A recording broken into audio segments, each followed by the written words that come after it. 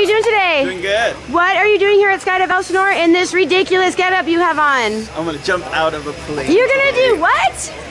I'm jumping out of a plane. Whose crazy idea was that? Mom, don't be mad. Just start because she doesn't know I'm here because she doesn't want me here.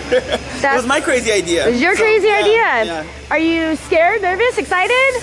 Um, excited. Excited. Yeah, we'll see if that changes once you get on the plane, Yeah. tough guy. All right. Anything else you want to say before we throw you out? Um, no, just uh, hope everything goes good. All righty. I have one last question for you. right. Are you ready to go up there a little over two miles, jump out of an airplane, and plummet back towards the earth at 120 miles an hour? Yes. All right, let's do it. Woo! I will see you on the plane.